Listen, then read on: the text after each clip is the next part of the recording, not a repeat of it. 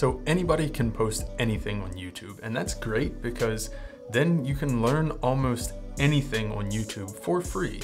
And a lot of us have learned to shoot photography and video here on YouTube, but it can also be a bad thing because anybody can post anything on YouTube. And that can lead to some of us learning bad habits and then having to unlearn those bad habits. And one of the bad habits that tends to come about a lot is shooting with wide open aperture all the time. And it's pretty common to hear people talk about nice prime lenses with super wide apertures and getting the best bokeh, but you shouldn't be shooting wide open, or at least not all the time. And I'm gonna talk about why.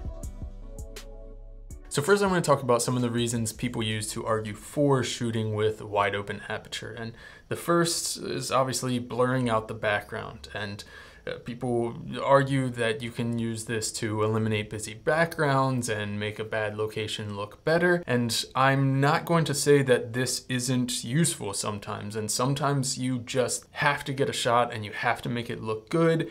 And Sometimes you have no control over the setting, you don't have enough time to make the background look better and you just have to get the shot and it has to be good. And blurring out the background to make a bad shot look good is necessary sometimes. But if your entire body of work consists of making a bad shot look good by shooting with an open aperture, you might need to take the time to work on your skills as a photographer. So you could try working on your composition, framing the shot to be less busy, or try finding locations that have less busyness in the background. You could also work on using lighting differently and using natural light and finding better natural light to make more interest on your subject or give more character and interest in the background, even if it is maybe a busier background, or make it less prominent.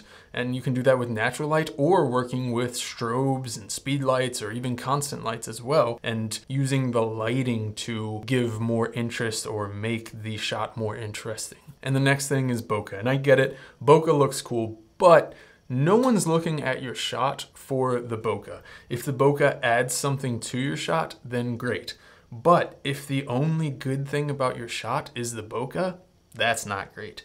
And really, it just comes down to understanding depth of field here because you can still get good looking bokeh without having to shoot at wide open apertures all the time. And if you're still wanting to get that blurry background, you can experiment with changing the distance between your subject and the background as well as your lens to your subject. You can experiment with using different focal lengths. So maybe shooting something more telephoto versus shooting something more wide angle. But not every background needs to be bokeh out. Sometimes having the background and the environment and the context in a shot is a good thing. And Sometimes it's the reason for the shot in the first place. And then people say that they need to shoot wide open because they shoot in low light. And this one's actually pretty confusing to me because how is it that you're able to afford a bunch of f1.2 prime lenses but you can't afford a camera that can shoot at 10,000 ISO without having destroyed the image quality. I mean, unless you have like an older generation of APS-C or Micro Four Thirds camera as your only camera body,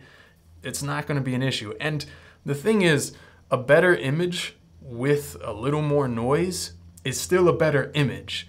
But modern cameras can handle shooting in low light. So that's not even a problem and shouldn't be an issue at all with a decently modern camera. And that's across all brands. And also, and this may be a whole nother video, but just learn to light your shots. And then uh, another argument that I still hear a lot of people say for shooting wide open all the time is that, well, that's my style. And this part might sound a little bit harsh, but I was there too and said that that was my style as well at some point.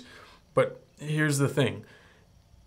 If you started shooting that way because everybody on YouTube and social media was doing that and you've never shot any other way, that's not a style, that's you following an internet trend. A style and an aesthetic is probably something that you don't have because developing a style comes from trying and experimenting and doing different things, shooting different ways and shooting in different scenarios.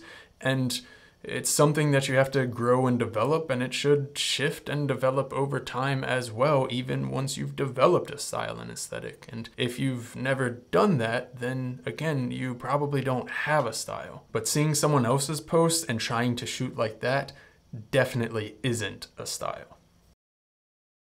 All right, so let's talk about some of the things that you're missing out on if you're only shooting wide open aperture all the time. And the first thing that you are literally missing out on is detail in your shot, detail in your subjects. And I mean, just quickly, briefly, very simplified overview, depth of field is the relative size of the area in your shot that is going to be reasonably in focus. And a shallower depth of field literally means that more of your shot is going to be out of focus. The bokeh and the out of focus in the background can look cool, I get that, but it doesn't only affect your background, that also means that less of your subject is going to be in focus. And it's hard to get all of a subject in focus at something like f1.2. And you see this in things, for instance, if you're like shooting portraits on an 85 millimeter f1.2 at f1.2, where one of the eyes is in focus and one of the eyes is out of focus, even if they're really close to being on the same plane of focus. And that's something where I have heard people say, well, if part of the face falls out of focus, then it's going to cover up imperfections because there's less detail in the imperfections in the face. But I don't find that an effective way to cover up imperfections if that's what you're trying to do in skin.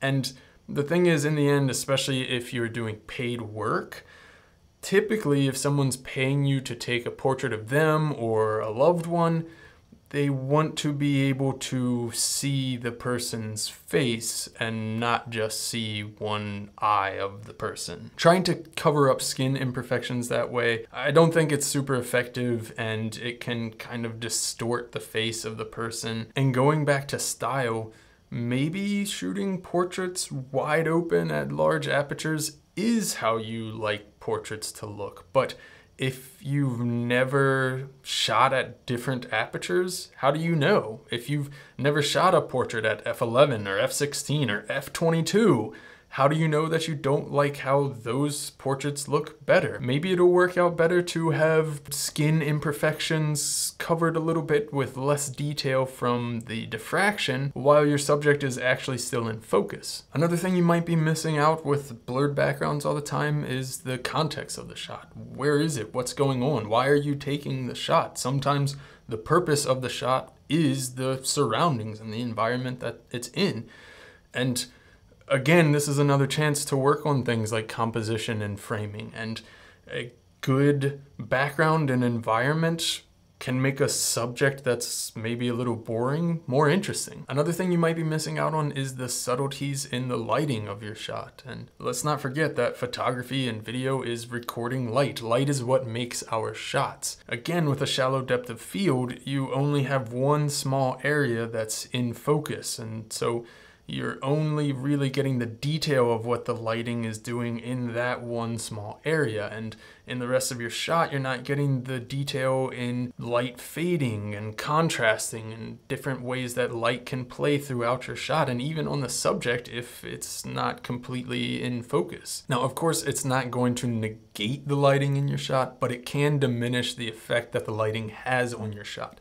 And maybe sometimes if it's bad lighting, that might be what you want. But if you're always shooting wide open to always kind of negate or diminish the effect of the bad lighting in a shot, again, it's probably time to start working on lighting your shots. And in the end, really, you're just missing out on getting better with your shots. If you're not trying new things and experimenting and using different framing and composition and techniques and shooting at different apertures, if you're not doing anything other than shooting different variations of a half blurry subject, you're not progressing and you're not getting better and that means you're stuck. And if it were me, and again, it was, and I was shooting that same way over and over, my work would get boring, even to me, and it did. And here's the thing what do you have to lose?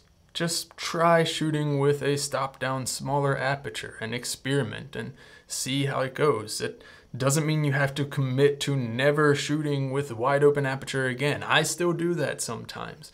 And it could even mean that you, in the end, like shots with a super wide open aperture all the time better. That's fine, but you can't know that if you don't experiment and try other things. And maybe you'll learn something or add some new technique to your shot and maybe you'll experiment and find out that you like something better than the way you're doing it now and in the end you could master shooting with smaller apertures and then decide you never want to shoot with small apertures again and go back to shooting wide open all the time. That's fine, but experiment and try and find out and see what works for you and again work on developing your own style and aesthetic. But Anyway, that's all I had to say about that.